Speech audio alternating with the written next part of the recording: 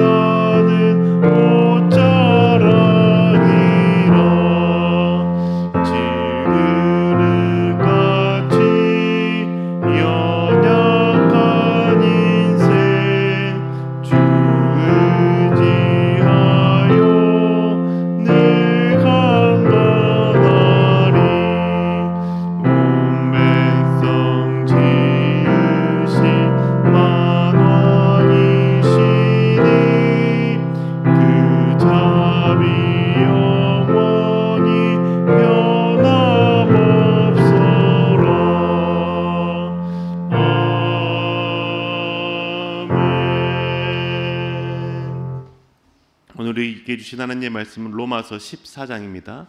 로마서 14장 1절에서 10절까지의 말씀. 14장 1절에서 10절의 말씀을 함께 읽겠습니다. 여러분은 믿음이 약한 이를 받아들이고 그의 생각을 시비거리로 삼지 마십시오. 어떤 사람은 모든 것을 다 먹을 수 있다고 생각하지만 믿음이 약한 사람은 채소만 먹습니다. 먹는 사람은 먹지 않는 사람을 없인 여기지 말고 먹지 않는 사람은 먹는 사람을 비판하지 마십시오.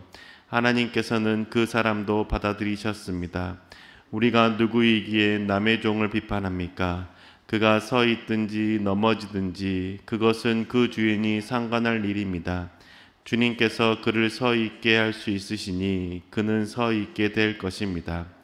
또 어떤 사람은 이 날이 저날보다 더 중요하다고 생각하고 또 어떤 사람은 모든 날이 다 같다고 생각합니다. 각각 자기 마음에 확신을 가져야 합니다. 어떤 날을 더 존중히 여기는 사람도 주님을 위하여 그렇게 하는 것이요. 먹는 사람도 주님을 위하여 먹으며 먹을 때 하나님께 감사를 드립니다.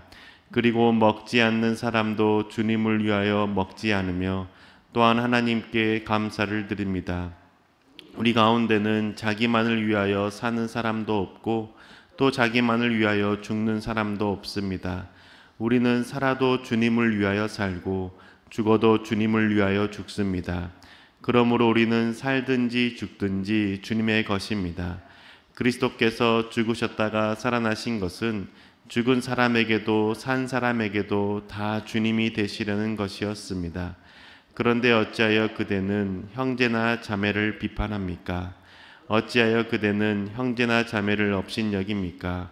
우리는 모두 다 하나님의 심판대 앞에 서게 될 것입니다. 아멘. 하나님 앞에 나와 예배드리시고 기도하시는 성도님의 삶 가운데 주님의 은혜가 가득하시길 축복합니다. 함께 신앙생활을 하면서 나와 잘 맞지 않는다라고 여겨지는 사람들이 있을 때 어떻게 하십니까? 저 사람과 함께 신앙생활을 하기 힘들다고 느껴질 때 그때 여러분의 선택은 무엇입니까? 어떤 사람들은 그 상대방과 마주치지 않으려고 노력할 겁니다. 심한 경우에는 크게 다투기도 하죠. 왜 이런 일들이 교회 안에서 벌어지는 걸까요? 그 이유는 서로가 상대방의 신앙에 대해서 받아들이지 못하기 때문일 때가 있습니다. 상대방의 모습이 하나님 보시기에 맞지 않는 것 같고 다른 사람들을 불편하게 한다라고 생각합니다. 그래서 상대방의 신앙과 말과 행동에 대해서 받아들이지 못하고 정죄하고 비판하죠. 그런 우리의 모습들을 보시는 하나님의 마음은 어떠할까요? 슬퍼하시고 안타까워하시지 않을까요? 주님께서는 우리에게 하시는 말씀, 오늘 말씀을 통해서 하시는 말씀은 서로를 받아들이라라는 겁니다. 용납하라는 것이죠. 그러면 우리 가운데 의문이 생깁니다. 어떤 모습은 받아들이고 어떤 모습은 받아들이지 않고 질책해야 되는 것인가? 그것에 대해서 오늘 말씀을 통해서 함께 살펴보고자 합니다. 오늘 우리가 읽은 14장의 말씀은 그 말씀 가운데 핵심 단어가 있다라면 받아들이라라는 것일 겁니다. 바울은 로마 교회 성도들에게 믿음이 약한 이들을 받아들이라라고 권면하죠. 로마서 14장 1절의 말씀을 읽어드리겠습니다. 여러분은 믿음이 약한 이를 받아들이고 그의 생각을 시비거리로 삼지 마십시오. 믿음이 약한 이를 받아들이라라고 권면합니다. 그리고 그의 생각을 시비거리로 삼지 말라고 권면하죠. 믿음이 약한 자의 생각이 시비거리가 될 수 있다는 겁니다. 그런데 그것을 시비거리로 여기지 말고 옳고 그름을 따지려고 하지 말고 받아주고 용납하라라고 권면하죠. 바울이 받아들이라고 말하는 그 믿음 약한 자들의 생각, 시비거리가 될 수 있는 그 생각이 무엇입니까? 이때 당시에는 우상에게 바쳐진 고기를 먹지 않아야 된다라고 생각했던 것입니다. 그 당시 시장에서 판매되어지는 고기들은 대부분이 다 모두 다 우상에게 바쳐진 제물들이었습니다. 그러니 예수 그리스도를 믿고 자신의 신앙을 지키기로 결단한 사람들은 우상에게 바쳐진 제물을 먹으면 안 된다라고 여기고 고기를 먹지 않고 야채만 먹었습니다. 그렇게 해야 된다라고 생각하는 사람들이 있었던 것이죠. 그런데 반대로 음식은 음식일 뿐이지 우리의 신앙을 해칠 수 없고 우리의 신앙을 어떻게 할 수 없다라고 생각하는 성도들이 있었습니다. 그 사람들은 어떤 마음으로 그렇게 행동했을까요? 어떻게 그렇게 생각했을까요? 아마도 예수님께서 하셨던 말씀을 기억했을 겁니다. 입으로 들어가는 음식이 우리를 더럽히는 것이 아니라 우리의 입에서 나오는 말, 생각이 우리를 더럽힌다라고 하셨던 그 예수님의 말씀을 기억했던 것이죠. 그렇기 때문에 무엇을 먹든지 상관이 없고 오히려 생각과 마음과 태도를 바르게 하고 거룩하게 해야 된다라고 얘기했습니다. 이렇게 신앙의 색깔이 서로 다른 사람들이 한 교회에서 예배를 드리다 보니까 서로를 받아들이지 못하고 비난하고 시시법비를 따지면서 정죄했던 것이죠. 바울은 그런 사람들에게 말하기를 받아들이라라고 권면합니다. 로마서 14장 3절의 말씀이죠. 먹는 사람은 먹지 않는 사람을 없인 여기지 말고 먹지 않는 사람은 먹는 사람을 비판하지 마십시오. 하나님께서는 그 사람도 받아들이셨습니다. 서로 받아들이라고 말합니다. 서로 받아들여야 되는 이유 중에 하나가 무엇입니까? 하나님께서 받아들이셨기 때문이라는 겁니다.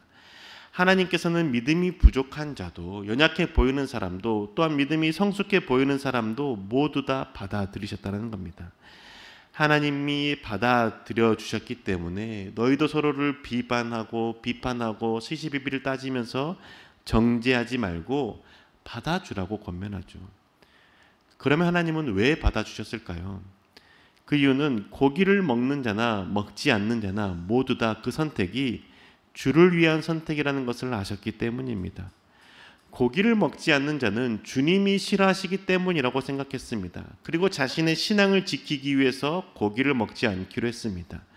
그리고 고기를 먹는 자는 먹는 것이 중요한 것이 아니라 말하는 것, 그 안에 생각이 중요하다는 것을 알았습니다. 그것을 지키기 위해서 노력했습니다. 고기를 먹지만 말하는 것, 생각하는 것을 거룩하고 정결하게 하기 위해서 삶을 살아가고 애썼던 것이죠. 그렇기 때문에 주님은 고기를 먹는 자나 고기를 먹지 않는 자나 모두 다 받아들여 주셨던 겁니다. 그게 주를 위한 선택이었고 신앙을 지키기 위한 선택이었기 때문입니다. 먹는 것뿐만이 아니라 절기를 지키는 것에 있어서도 주님께서는 동일하게 행동하셨습니다.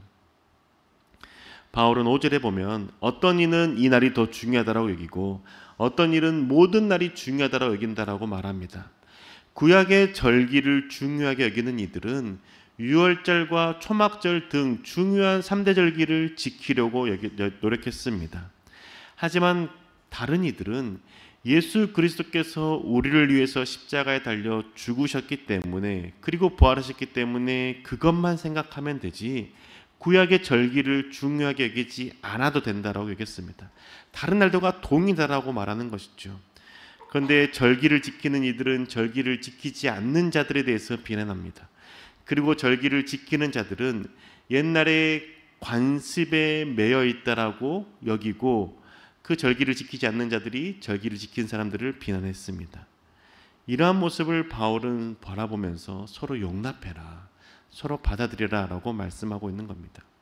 왜냐하면 이것 또한 양쪽 모두 다가 신앙을 지키기 위한 선택이었고 행동이었기 때문입니다. 절기를 지키는 사람들은 구약의 하나님께서 우리 조상들을 어떻게 사랑하셨는지, 구약의 하나님이 우리 가운데 어떻게 일하셨는지에 대해서 기억하고 하나님을 생각하기 위해서 지켰습니다. 절기를 지키지 않는 자들은 신약의 예수님께서 우리의 죄를 죽으시고 부활하신 그 사건이 너무나 감격되기 때문에 그 사건만을 마음에 새기기 위해서 주님의 날만을 생각했던 것이죠. 어느 신앙이든지 간에 하나님을 생각하는 마음, 하나님을 믿고자 하는 마음으로 선택한 것이기 때문에 정지하지 말고 받아들이라고 권면하는 것이죠. 이 마음이 14장 6절에 잘 드러나는 겁니다. 로마서 14장 6절의 말씀을 읽어드리겠습니다. 어떤 나를 더 존중 여기는 사람도 주님을 위하여 그렇게 하는 것이요. 먹는 사람도 주님을 위하여 먹으며 먹을 때 하나님께 감사를 드립니다. 그리고 먹지 않는 사람도 주님을 위하여 먹지 않으며 또한 하나님께 감사를 드립니다. 바울은 명확하게 말해주고 있지 않습니까? 먹는 자나 먹지 않는 자나 절기를 지키는 자나 지키지 않는 자나 모두가 주님을 위해서 하는 것이다라는 겁니다. 우리는 여기에서 중요한 사실 하나 생각할 수 있죠. 상대방의 행동과 모습을 용납하고 받아주어야 되는 그 기준이 무엇이냐면 그 사람의 모습이 주를 위해서 자신의 신앙 안에서 고군분투하고 있는 모습이냐라는 겁니다. 자신의 정욕과 쾌락을 추구하기 위해서 하는 행동들은 받아주는 것이 아니라 질책하고 바르게 해야 되는 것이죠. 그런데 주를 위해서 자신의 신앙을 지키기 위해서 하는 그 고군분투의 모습들에 대해서는 나와 신앙의 색깔이 맞지 않는다고 해도 그 사람의 신앙의 모습, 그 사람의 결정을 존중하고 받아들이고 용납해야 된다는 겁니다. 예를 들면 이런 것이죠. 술을 먹지 않기로 결단한 것을 보고 조롱할 것도 아니라는 겁니다. 신앙이 연약한 사람이라고 비아냥될 것도 아니라는 것이죠. 그리고 또한 좋지 않은 영상들을 보는 것에 대해서도 그 사람의 믿음이 너무 고지식하다라고 말할 것도 아닙니다. 주일에 돈을 쓰지 않기로 결단한 사람들의 신앙에 대해서도 너무 옛날의 신앙에 매여 있다라고 말할 것도 아니라는 것이죠. 하나님을 믿을 때 자신은 이렇게 해야 하나님 앞에서 자신의 마음을 지키고 생각을 지킬 수 있기 때문에 하는 결정들이지 않습니까? 그러면 그의 모습들에 대해서 존중하고 그 사람의 신앙에 대해서 받아들여야 된다는 것이죠. 또한 이와 반대로 술 취하지 말라는 말씀을 기준으로 술을 적당히 마시는 사람에 대해서도 죄를 범하고 있다라고 정지할 것도 아니라는 겁니다. 주일이 자신 주일에 자신이 하고 싶은 것을 하면서 돈을 사용하는 사람에 대해서도 주님의 날을 범하고 있고 주님의 날을 기억하지 못한다라고 정지할 것도 아니라는 것이죠. 하나님 앞에서 어떤 신앙을 가져야 하는지에 대해서 스스로 생각하고 신앙의 모습을 지켜나가기 위한 거라면 그런 노력이라면 받아들여야 된다는 겁니다. 그렇게 받아들여주는 것이 하나님 안에서 서로의 신앙을 존중하는 것이고 서로가 주를 위해서 선택하는 것들을 결정하며 살아감으로 주님께 더 가까이 나아갈 수 있기 때문이죠. 그러면 바울은 왜 이렇게 받아줘야 된다라고 말하는 걸까요? 세 가지 이유로 설명하고 있습니다. 첫째는 아까도 말씀드렸듯이 하나님께서 받아들여 주셨기 때문입니다. 하나님께서 우리의 신앙이 연약한 모습, 부족한 모습, 각자의 모습을 다 신앙의 색깔로 인정해 주셨고 받아 주셨습니다. 하나님께서 받아 주셨기 때문에 서로의 모습을 받아주고 용납하라는 겁니다. 둘째는 예수 그리스도께서 그 사람의 주인이 되시기 때문이라는 것이죠. 4절 말씀에 기록되어 있습니다. 우리가 누구이기에 남의 종을 비판합니까? 그가 서 있든지 넘어지든지 그것은 그 주인이 상관할 일입니다. 주님께서 그를 서 있게 할 수 있으시니 그는 서 있게 될 것입니다. 각 성도들의 주인 되시는 분은 예수 그리스도라는 것이죠. 내가 비난할 수 있는 성도들은 없다라는 겁니다. 왜냐하면 내가 그 성도의 주인이 되는 것이 아니기 때문입니다. 그 사람의 행동과 태도와 말에 대해서 질책할 수 있고 바르게 할 수 있는 분은 예수 그리스도라는 것이죠. 그렇게 상대방의 행동이 모나 보이거나 믿음이 없어 보이거나 조금 왜곡되어 보이는 모습이 있다 할지라도 그 모든 것에 대해서 지도하고 바르게 하고 가르치시는 분은 그 사람의 주인 되시는 예수 그리스도께서 하신다는 것이죠. 이 사실을 우리는 받아들인다는 겁니다. 왜냐하면 주님께서 그 사람을 자신의 자녀 삼으시기 위해서 십자가에 달려 죽으셨고 십자가의 죄를 대속해서 지셨기 때문이죠. 그렇기 때문에 주님께서 하실 것이기 때문에 우리는 그 사람을 받아들이고 용납하며 그 사람에서 기도하면 된다는 겁니다. 그리고 세 번째는 우리 모두 다 주님 앞에서 심판대 앞에 서게 되는 존재이기 때문이죠. 10절 하반절에 보면 이렇게 나와 있지 않습니까?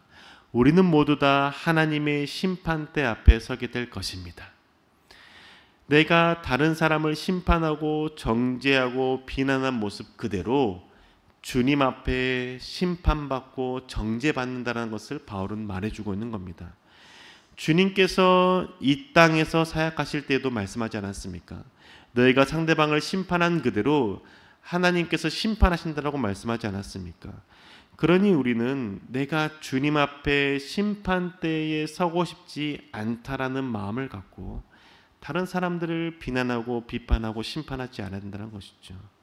그렇게 심판하는 것은 하나님이 그 사람의 주인 되시는 그 자리를 내가 빼앗아서 내가 그 사람의 주인 되는 자리에 앉는 어리석은 행동이기 때문입니다. 하나님 앞에서 심판받지 않기 위해서라도 우리는 상대방을 용납하고 받아줘야 된다는 것이죠. 우리가 상대방을 용납하고 받아주는 그대로 주님께서도 우리를 심판대 앞에서 우리를 받아주고 용납하시기 때문입니다. 사랑하는 교회 여러분, 우리 교회 안에서 상대방의 모습을 비난하고 정죄하는 자가 되지 맙시다. 교회를 생각하는 마음으로 상대방이 결정하고 주장하는 그 모습들 받아주고 용납하는 자가 됩시다. 그 모습이 조금 어리숙해 보이고 그 모습이 조금 부족해 보인다 할지라도 그 모습이 조금 왜곡돼 보인다 할지라도 그 사람이 교회를 위해서 하는 그 말들, 그 생각들에 대해서 받아주고 용납하는 자가 됩시다. 하나님께서 우리를 사랑하셔서 우리의 모난 모습, 부족한 모습, 왜곡된 모습들을 받아주시고 용납하셨기 때문입니다. 그리고 그 사람의 주인은 내가 아니라 예수 그리스도라는 사실을 생각하고 그 사람을 바르게 세우시는 분은 주님이심을 믿고 기다림으로 그 사람을 받아주고 용납합시다. 그리고 내가 그 사람을 비판하고 비, 비난하는 그 모습 그대로 심판대에 서게 되고 주님 앞에 심판받게 된다는 사실 또한 기억합시다. 우리는 심판자나 시시비비를 가리는 자가 아니라 주님의 사랑을 받은 자임으로 주님의 그 사랑으로 용납하고 받아주어야 되는 사람임을 기억하며 살아갑시다. 그래서 오직 주님의 그 사랑으로 용납함으로 서로 다른 신앙의 모습도 주님 안에서 하나가 되는 저와 교회 여러분 되시기를 주님의 이름으로 축복합니다. 기도하겠습니다. 주님, 주님께 소리를 받아주셨던 것처럼 우리도 서로를 받아주고 용납하는 자가 되길 소망합니다. 교회 안에서 교회를 생각하며 하는 그 말들, 그러한 태도들에 대해서 주님 내 눈에 조금 보기 싫고 내 마음에 조금 들지 않는다고 해서 시시비비를 가리려고 하거나 상대방을 정죄하고 판단하려고 했던 마음들 모두 내려놓게 하여 주시옵소서. 하나님의 그 사랑이 내 안에 충만케 되어지게 하여 주시고 그 사랑으로 상대방을 용납하고 받아들여 줄수 있는 깊은 믿음의 소유자가 될 수 있도록 인도하여 주시옵소서. 하나님 그래서 상대방의 주인 되시는 분은 내가 아니라 예수 그리스도임을 기억하고 주님께서 그 사람을 모난 부분들을 깎으시고 그 사람을 바른 길로 인도하시고 바른 신앙으로 세워 주실 것을 믿으며 기도하는 자, 용납하는 자가 될 수 있도록 인도하여 주시옵소서. 하나님 그래서 예담교회 안에 서로의 사랑이 가득하게 해주시고 용납함과 용, 그 받아들여짐이 풍성케 되어짐으로 이곳에 들어오는 모든 자들이 하나님의 사랑을 경험할 수 있는 귀한 예담교회 되시도록 인도하여 주옵소서. 우리 삶 가운데 언제나 함께할 줄 믿사오며 살아계신 우리 주 예수 그리스도 이름으로 기도합니다. 아멘. 하늘에 계신 우리 아버지여 이름이 거룩히 여김을 받으시오며 나라의 마옵시며 뜻이 하늘에서 이룬 것 같이 땅에서도 이루어지이다. 오늘날 우리에게 일용할 양식을 주옵시고 우리가 우리 죄 지은 자를 사하여 준 것 같이 우리 죄를 사하여 주옵시고 우리를 시험에 들게 하지 마옵시고 다만 악에서 구하옵소서 대개 나라와 권세 영광이 아버지께 영원히 쌓옵나이다 아멘.